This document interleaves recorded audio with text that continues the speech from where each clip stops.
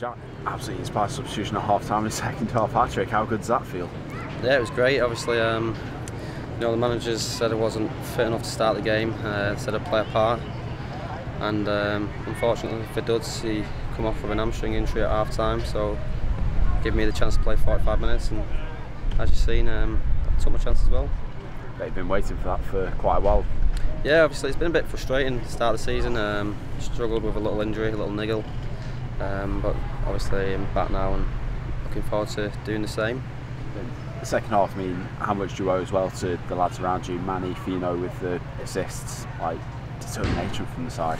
Yeah, um, as you just said, it was um, great sell by the lads. Um, you know, great first two by Manny and uh, the last one by Fino. Is you know you, you need to it's a team game and uh, I needed them to put the ball in the box and me to put it away. And that's four consecutive wins now. How important is that victory against the side who they'll be up there around so with us? Yeah, um, like you say, four consecutive wins. Um, I think we've only conceded one in them four. Um, but yeah, it's we, we're looking a good, good solid squad. Um, I think um, it's gonna, we're going to take some stopping. Obviously, we got beat first game of the season to Darlo, but I think um, I think, we, when you look back, we probably needed that. It gives us a, gives us a bit of um, something to kick on. And, as you've seen the last four games, the lads done uh, excellent.